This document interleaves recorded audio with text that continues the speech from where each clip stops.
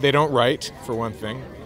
Uh, they while they, they may have great voices, all these these kids may have great voices, but it's just not that competition is just not my cup of meat, really. I, I don't know. I mean, it's not about to me. It's not about a particular song, and it's, it's certainly about talent. Great, but to me, there's more to an artist than just having a great voice. I think an artist has to have something to say and has to offer up something beyond just having a great voice.